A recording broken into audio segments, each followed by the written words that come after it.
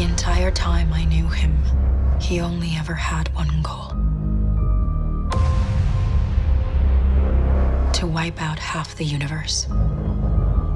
If he gets all the Infinity Stones, he can do it with the snap of his fingers.